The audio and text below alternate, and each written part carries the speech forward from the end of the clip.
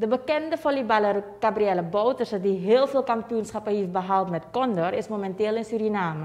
Ze was daar op vakantie en Gabriella studeert en volleybalt in Amerika, in Naples. Ze heeft het afgelopen jaar heel wat successen geboekt en ze vertelt ons wat haar uh, streven is voor 2021. Gabriella Bouterse, die voor Condor speelde, speelt al enkele jaren in de VS. Kabi, uh, voor welk team speel je op dit moment? Op dit moment speel ik voor Ave Maria University. En waar is dat? Het is in Naples. Kabi, je hebt furoren gemaakt daar in Condor in Suriname. Je bent weggegaan. Hoe loopt je volleybalcarrière op dit moment? Um, ik moet zeggen, sinds ik in Amerika ben, veel beter, veel meer liefde voor sport. Het gaat gewoon richting beter en beter. En waarom veel meer liefde voor de sport daar? Um, ik denk ook dat het te maken heeft met de andere sfeer. Uh, het niveau is ook een beetje hoger. Dus dat maakt ook gewoon dat het leuker is, denk ik. En ik ook gewoon nu echt vrij ben om te voelen wat ik moet voelen voor sport. 2020 wordt gekenmerkt door COVID-19. Uh, ben jij ook slachtoffer van COVID-19 geworden, daarom het zo te zeggen, qua sport? Um, ja en nee. Het heeft ons sowieso een heel tijdje achtergehouden, maar dan ook weer niet omdat de school alles op alles heeft gedaan om het zo goed als mogelijk te doen, waardoor onze competitie ook gewoon door kan gaan. Hoe is de competitie in 2020 verlopen?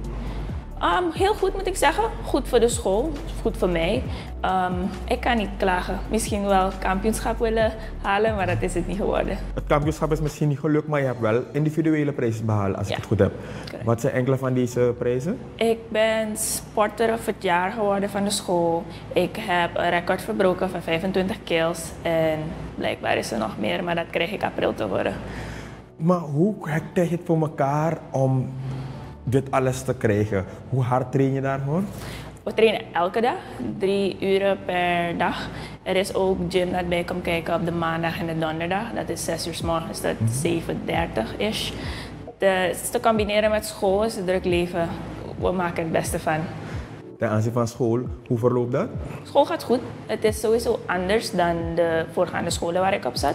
Maar het is uh, adjusten, moet ik zeggen. En wat voor studie doe je? Ik doe political economic. Fantastisch. Maar Gabriella, je bent al sinds jong bezig met het volleyballen. Je bent nu 21. Baal je soms niet van, ah, al bijna tien jaar ben ik met dezelfde sport bezig? Nee, ik, zoals ik zei, het wordt, de liefde voor de sport wordt alleen maar erger, veel meer. Um, dus uh, ik hoop dat, dat het alleen maar meer blijft bloeien en groeien, want ik wil uiteindelijk sowieso meer bereiken ermee. Heb je ook wel je momenten waarbij je zegt van, nou vandaag gaat het niet worden of ik heb vandaag geen zin om zes uur op de training te zijn? Nee, ik denk dat dat wel het geval was hier. Maar uiteindelijk misschien als ik ouder ben geworden en ik misschien ook betere, um, betere doelen heb gesteld voor mezelf. Waardoor ik dus niet echt laks ben als het gaat om een sport, maar eerder gedreven ben om echt naar de training te gaan. 2021 is pas begonnen. Uh, wat zijn je doelen voor dit jaar? Ik wil sowieso meer bereiken dan wat ik vorig jaar heb gehaald. Uh, kampioenschap met mijn team. Meer individuele prijsjes, maar dat komt allemaal als teamwork. Uiteindelijk dan haalt iedereen wat ze moeten halen. En uiteindelijk is het pro wat ik wil. Dus uh, is gewoon hard werken naar pro toe. En ben je ver van pro of zeg je van weet je precies welke richting of wat je nog moet doen om pro te zijn? Um, ik denk sowieso dat mijn eetpatroon beter moet zijn. Ik denk fysiek dat ik beter, mentaal kan altijd nog beter. Ik ben vrij jong, dus ik denk dat ik nog een lange weg heb. Maar als ik nu start, dan moet het goed gaan. Kabi, heb je een boodschap aan de jonge vrouwen, de jonge dames die op dit moment naar je kijken? Ik zou zeggen, als je een droom hebt, stap niet, maakt niet uit als het niet gaat zoals je dat wil. Het is niet zo goed gegaan voor mij in het begin, al mensen die me kennen.